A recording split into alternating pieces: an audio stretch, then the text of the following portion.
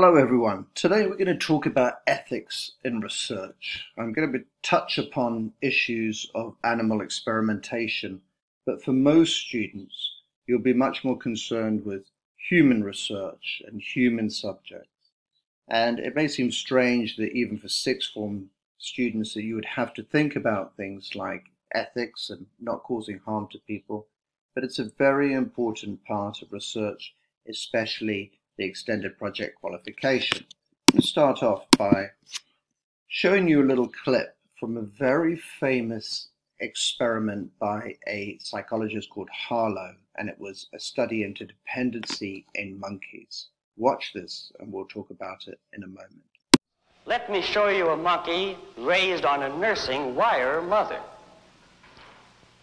Now here are 106's two mothers. As you can see, it was weaned on a wire mother. Here's baby 106. Watch. He's going to the wire mother. He's got to eat to live.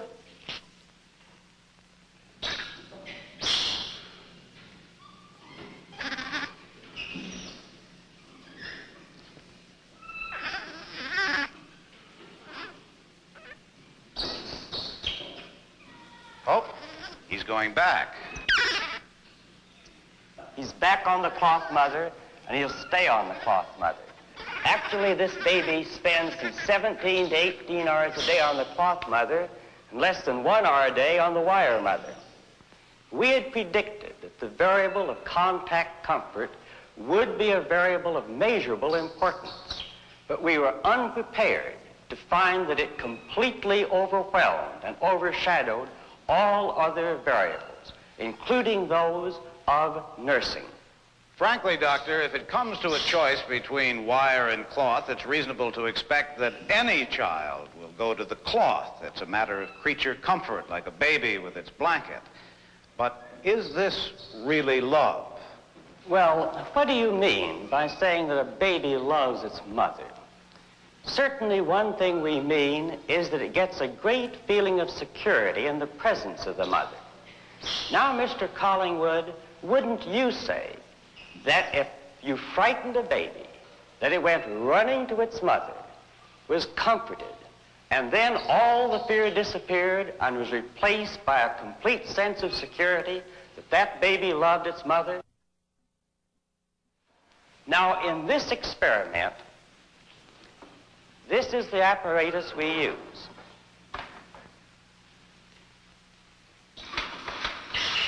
That looks diabolical. That's just the way the baby monkey feels about it. Flashing eyes, loud sound, moving mechanical parts, all of these things are designed to frighten a monkey. Now here we have a peaceful, resting baby monkey. Let's find out what his reactions to his mother are when we frighten him.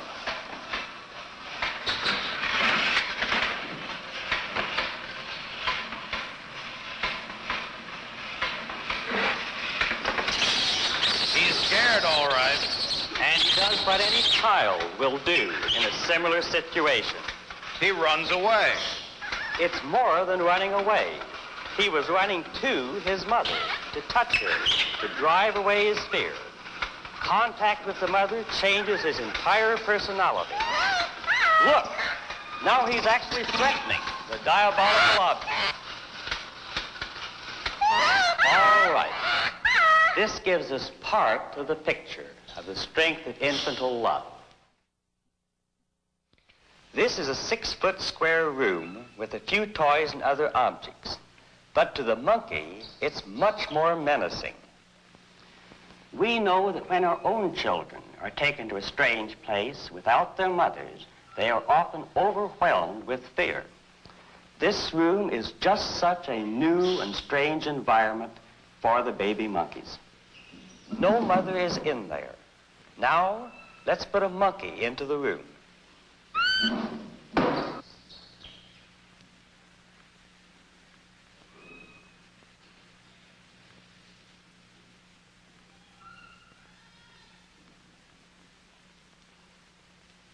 Notice how cautiously he enters the room.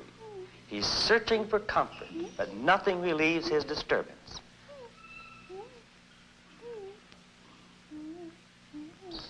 Now we'll take the baby monkey out and put in a wire mother.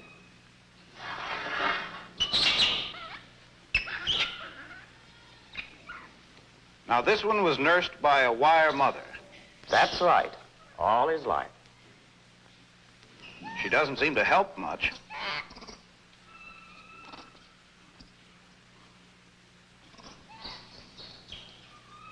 Now, we'll try the same test with a cloth mother in the room.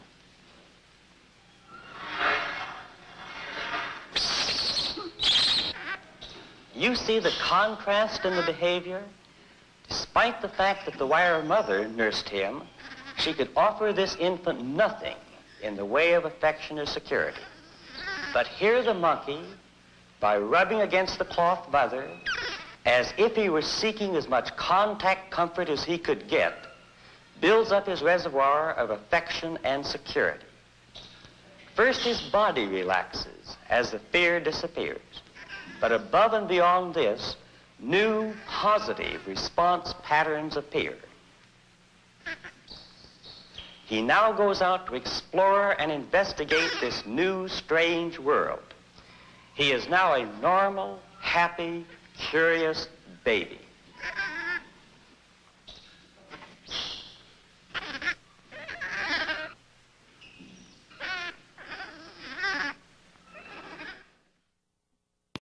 Now, clearly, for advocates of animal rights, that was an indefensible and despicable study.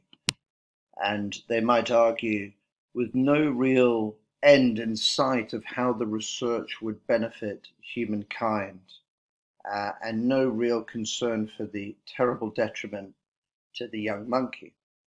Uh, however, of course, there is always an alternative view, um, and I'm sure that Harlow would passionately defend his experiment and say that it had a applicability to the human world and that there could be good results from this. I showed you this particular clip because it's likely to generate a strong emotional response in you. And although, as I say, my topic today is not really looking at things like the treatment of animals, it does set the tone for the whole idea that when we make a study, we need to weigh up harm that we cause through the study and the potential benefits of the study. So when we look at Harlow's um, particular experiment, uh, I think there might be some defense. But animal rights advocates will often talk about the fact that many animal experiments seem to have dubious uh, benefits to mankind. So, research ethics concern the responsibility of researchers to be honest and respectful to individuals who are affected by their research studies and their results. And that's what we'll be focusing on today. So, going through our agenda, I'm going to give you a little bit of the background to research ethics. We're going to talk about the value of consent and transparency, two very important principles. We're going to look at the function of what we call a plain language statement, which all researchers who do human research need to write. Uh, we're going to look at the value of debriefing participants in experiments and studies. We're going to look at a student's plain language statement, a student in a desk who wrote this. We're going to look at the role of deception. Is it is it uh, uh, ethical to deceive your participants? If so, when and how? And those very difficult questions. And then we're just going to touch upon plagiarism because that also falls into the idea of ethics in research. Now, I'm going to look at some really shocking uh, historical um, examples of highly unethical research and the first being, of course, the breaking and re-breaking of bones. Now, the Nazis in particular conducted many medical studies which were shocking in terms of their ethics. And one of the most interesting philosophical uh, medical ethics debates that you can have is whether it's permissible to use the results of these studies or not. Another study in 1963 uh, had patients been injected with live cancer cells in New York. Very famously, in uh, Alabama, between 1932 to 1972, 400 men had been left to suffer with syphilis long after a cure was available so that they could study the effects of the disease. Again, that seems to be a shockingly unethical example. And a study that we're going to look at in a lot more detail now, Milgram's study, uh, he was studying human obedience. And the argument is that he conducted a study which later caused people incredible shame and humiliation. And there was a strong element of deception in the study. So, once again, there are no clear answers. It's an interesting experiment for you to talk about in a moment. And I'm going to show you a video clip of the Milgram study. Here is some of the dialogue to whet your appetite. Please continue. The experiment requires you to continue. It is absolutely essential that you continue. You have no choice. You must go on. Well, let's find out where this dialogue came from. The Milgram studies were conducted in order to study the willingness of participants, average everyday Americans, to obey authority figures who instructed them to perform behaviors that conflicted with their personal beliefs and morals. And as you can probably imagine, it might be hard to recruit participants when that's what you're trying to study. And so, in order to keep the participants from finding out what he was actually trying to look at, Milgram used deception. He started by posting ads looking for people to participate in a study about learning and memory. And I actually have an image of the original flyer here. And you can see that they really tried to make it a point to recruit average everyday people. When they arrived at the lab, they were told that they were going to be participating in a study that was trying to look at the effects of punishment on learning. So, do people learn best after they've been punished for making a mistake? And there were two participants involved in the study, and they randomly decided, by picking out of a hat, who was going to play the role of teacher and who was going to play the role of the learner. In reality, one of the participants was actually a Confederate, meaning that they were working with the experimenter and were secretly in on the point of the study. And choosing the roles out of the hat wasn't actually random in this case, because it was rigged in such a way that the actual participant always got the teacher role and the Confederates always got the learner role. While the teacher was watching, the experimenter hooked the learner up to a number of electrodes. And they were both told that the teacher was going to teach the learner a number of word pairs, and that the learner would be shocked whenever they gave the wrong answer. In some versions of this study, the person playing the learner noted that they were worried about the experiment because they had a heart condition, so they were worried about the shocks. At which point the experimenter would explain to them not to worry, that the shocks would be painful but not dangerous. The teacher was then taken to a different room where they couldn't see the learner, they had no visual contact with them. And they were sat in front of a box of switches that they were told was a shock box. The first switch was labeled 15 volts, and the switches increased at 15 volt increments until it reached 450 volts.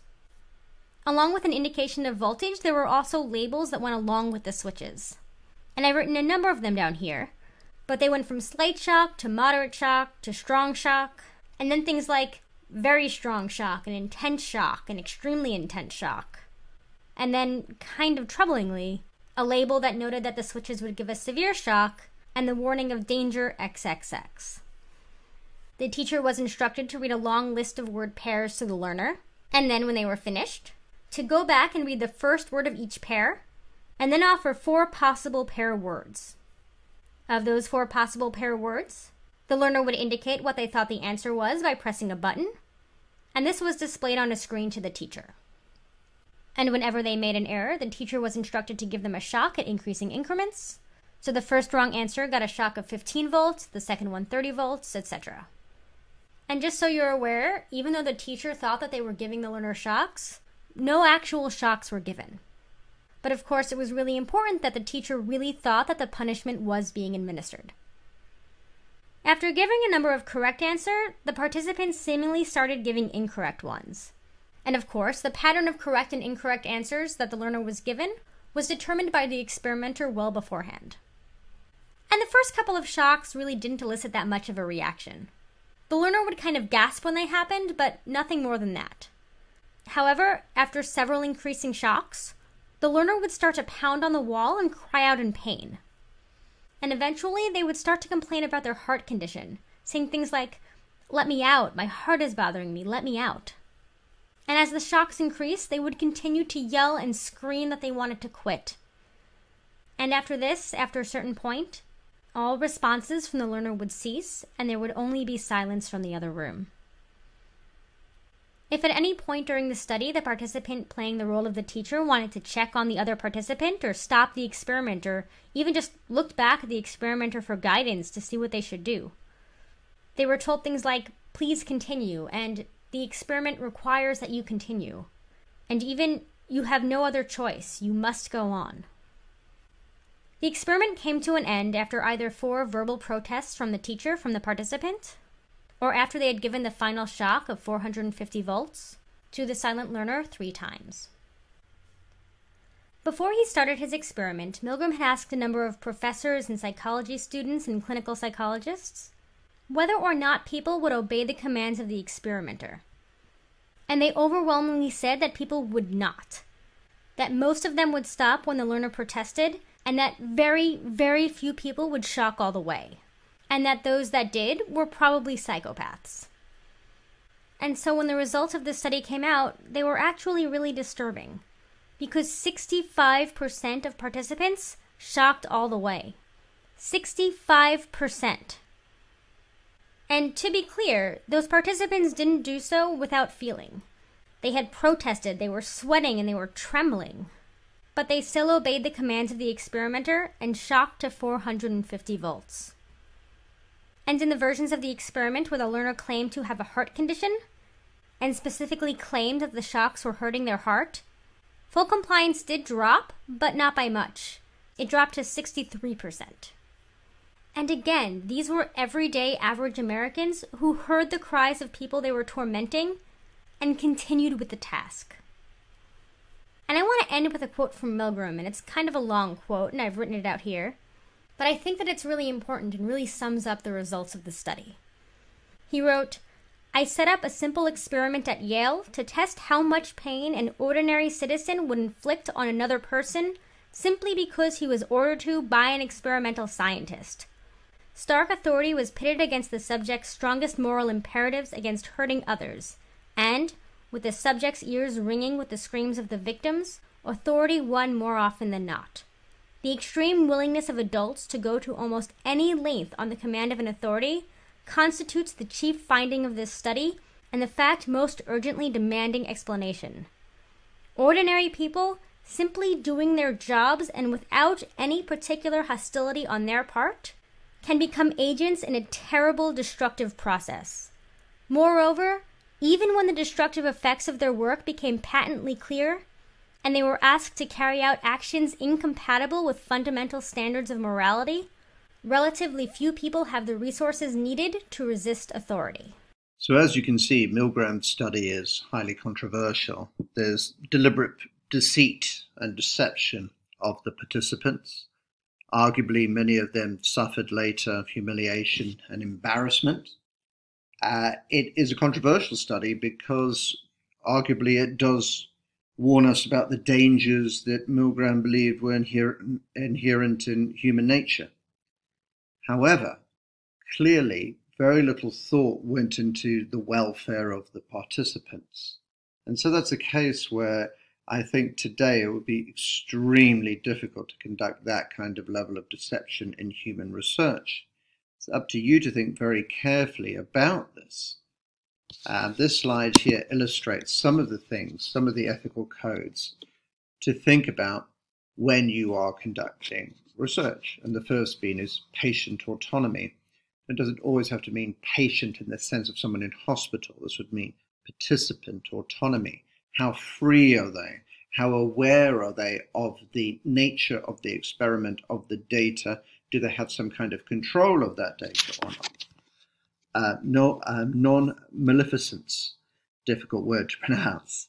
Uh, the idea of not causing harm to people, making sure that their welfare is considered in the research. And if there are some harmful effects, these need to be counterbalanced by beneficial effects. And the step really is the same principle here of beneficence the idea that your research will provide a great deal more good than the harm that it, you know, causes. Idea of justice, that there should be a, a just outcome. The idea of veracity, truthfulness. Again, going back to Milgram's experiment, certainly the principle of veracity was not respected in that particular case. Now, because of the nature of experimentation after the Second World War, when it became apparent that a great deal of research that was conducted by Nazi scientists had been obtained under extremely unethical means, including experimentation on people in concentration camps, etc. Here you see a, um, a picture of the Nuremberg trial in which many of the top Nazis were tried as war criminals. Well, following the Second World War and following the Nuremberg trial, the Nuremberg Code was issued, which is a set of 10 guidelines for the ethical treatment of human participants. Again, that's in 1949. So it's a very important milestone in terms of research ethics. This was later expanded into a far more comprehensive report known as the Belmont Report in 1979 and it's a very long report, so I have isolated three principles of it that I think are important for anyone who's doing human research. The first being that individuals should consent to, to participate in studies. And those who cannot give consent, such as children, people with diminished responsibilities, and prisoners, need to be protected. That's an interesting principle, isn't it? The most important one, I think, for all of us, particularly for students who are conducting research in an EPQ, or if you're going to go on to university and do any kind of human research, the researcher should not harm the participants, they should minimize the risks, and they should maximize the potential benefits. Number three, fairness and procedures for selecting the participants. Okay, another important idea. How did you select them? In the APA guide, I thought there were a number of things worth um, highlighting to you. The researcher is obligated to protect participants from physical or psychological harm. Now, that can be very interesting even for EPQ people because I have had students in the past who've wanted to study uh, their peers who've suffered from depression or eating disorders, etc. And that is very dangerous. And that's something that the APA guide deals with in considerable detail. During or after a study, participants may feel increased anxiety, anger, lower self esteem, etc., feeling like they've been uh, tricked, cheated, or deceived. Now, again, if we go back to Milgram, I think had you been a participant in this study, you would certainly be feeling those things. So the APA guide would have protected you under those circumstances. The general concept of informed consent, that's the absolute key for you to realize informed consent. That is, that human participants should be given complete information. So, again, a huge change, which makes it very difficult to conduct the kind of experiments that we've seen and we, we saw in the past, where the participants were regularly deceived. And um, the principle here of clinical equipoise is really important. This means that a researcher can compare treatments when there is an honest uncertainty about which treatment is best, there is an honest professional disagreement among experts concerning which treatment is best. Okay, so here in the diagram, this is illustrated. We have treatment A, we have treatment B. We don't know which is better, and therefore we do need to potentially give one group of people better medication or better therapy or better treatment in order to compare the incidence so that we can have some kind of empirical data that shows and proves which experiment is best.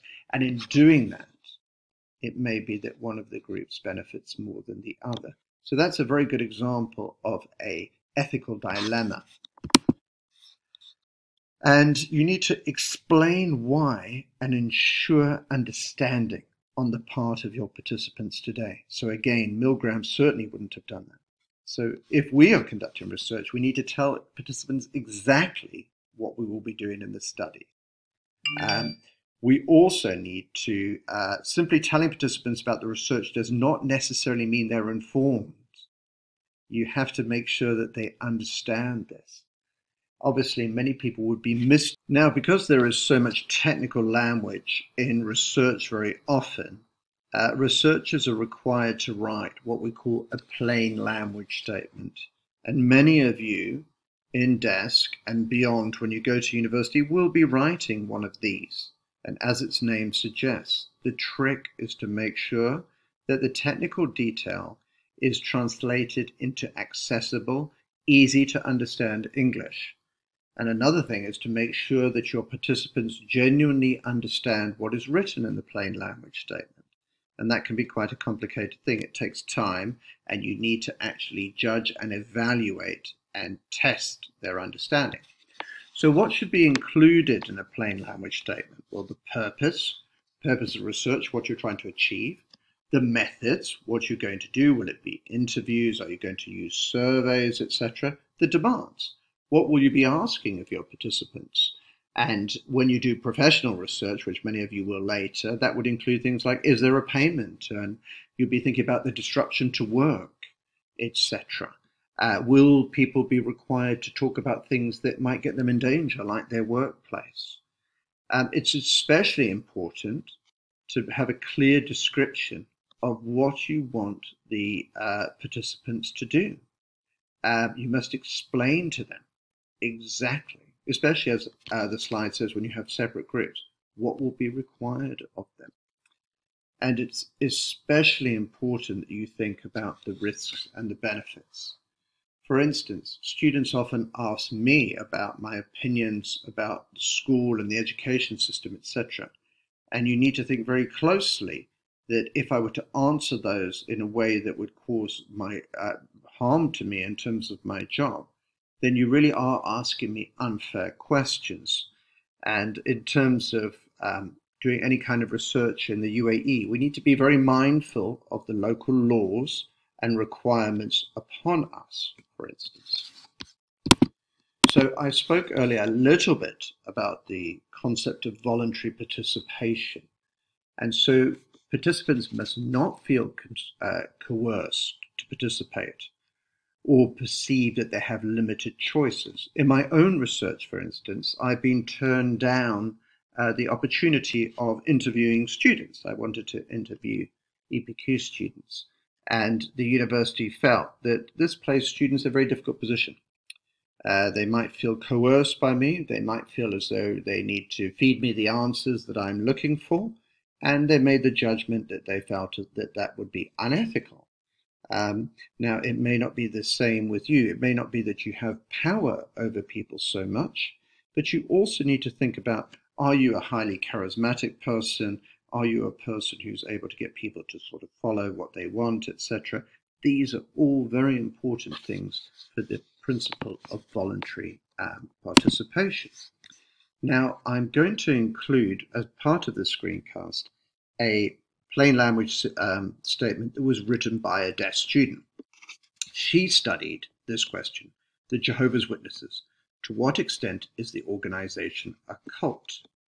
And she wrote a plain language statement. So I'm going to include that in or alongside the screencast. And it would be a very interesting exercise for you to read this, to go back to what should be in a plain language statement, and to consider whether you think that this is a well framed plain language statement, and if not, if you feel as though there are some flaws in it or some omissions, it would be an interesting exercise for you to note what you believe that these are. I'll pause the screencast now and give you time to do that. Ideally, you've had time to look very closely at the plain language statement and possibly to discuss it in a group or with a friend. Uh, will you need to write a plain language uh, statement? Well, this is something, again, that you should discuss with your peers, first of all, especially if you're now in a lesson or if you're with a group of people who are conducting a project like the EPQ. Will you need to write one? If so, what will you have to explain? And what are the dangers to your participants? And How will you protect your participants from harm? One of the key ideas is that you will protect the identity of people. So you need to think to yourself how will you make sure that these people are anonymous? How will you protect their data? How will you make sure that they're not identifiable to other groups? Will you, for instance, be giving them a code, Mr. X, for example, etc.? And as I say, a very important aspect of this is that people have the opportunity of reviewing things like interview transcripts and say, no, I'm not happy with this being published. It's a very, very important principle, and it's the kind of thing that could have your research disqualified at university level if an ethics board decides that you have not been vigilant in respecting participants' rights in this manner. Now, we saw earlier with Milgram that there was a large element of deception so we have passive deception, which is omission, not telling people stuff. And I guess Milgram would say that that was passive um, deception. The researcher intentionally does not give all of the facts, they're economical with the truth. And then, of course, there's active deception or commission. And this is presenting misinformation about the study to participants. And the most common form of uh, active uh, deception is misleading the participants about the specific purpose of the study. So again, we saw that in Milgram. He was actually looking at obedience, but he pretended that he was looking at the effects of punishment and learning. Now we get to this very tricky idea of is there such a thing as justified deception? The deception must be justified in terms of making some kind of significant benefit and the researcher must consider all the alternative. Deception should be the absolute last strategy and technique used, and you should be able to justify this. It's extremely rare for ethics boards to uh, pass this kind of um, this this kind of technique these days. And in terms of the EPQ, I cannot think of any time when this would be possible. So my advice would be no deception, transparency, making sure that people are informed. The principle of informed consent should be your guiding philosophy. Now, the idea of debriefing and confidentiality I touched on a moment ago. I think debriefing is a key one because once you've collected your data, uh, you may feel very excited and want to publish it. But ideally, you should sit down with your participants and discuss your findings. Now, again, certainly at undergraduate level and postgraduate level, you would have to do this. And the APA ethical guidelines require that researchers ensure the confidentiality of their research uh, participants. So, as I say, this idea of keeping their records safe, keeping them anonymous, because sometimes people are surprised by the consequences that things can have. And if we are in a area in which there is strong political power, we need to think very carefully about the damage that we can do to people, even in something like an EPQ, because you may believe that it's kind of quite harmless, but sometimes there are extraordinary consequences that come from getting people to speak freely, hence the need to uh, make sure to protect their identity and to ensure that there is anonymity. So the reporting of research, and this is where ethics now become part, partly to do with collusion, partly to do with things like plagiarism. So the principle is not fabricating data, not changing the transcripts in your interviews, etc. That is considered a kind of sacred trust of the researcher that you are true to the transcripts. You do not rewrite them or fudge the survey results or round up the data too much to make sure that it fits the kind of curve that you want. If you discover significant errors in published data, they will take uh, reasonable steps to correct such errors. And very importantly, you do not present uh, others' work as your own. And I've done other screencasts about the value of plagiarism and what a heinous crime it is within the academic world. So the reason, one of the reasons why we have peer review is to safeguard us against fraud. and the safeguarding against fraud, the peer review ensures uh, things like that your research could be replicated. It looks at the integrity of the research. So, and that's why even on things like the EPQ, we try to have transcripts of the interviews, etc., to ensure that uh, peer review can replicate the results of your research. We've had a huge amount of information for you to absorb, and I hope it wasn't too dull for you. So let's see how much of it you understood. I'm going to look at potential EPQ projects, and I'm going to ask you to fulfill my role. You're the kind of judge, the coordinator. And I think this would be a very interesting exercise for you. I would like you to look carefully at each of the proposals and I would like you, if possible, to discuss with this with some peers or in a group. But if you don't have anyone with you, think about them really carefully and think about would you approve these projects?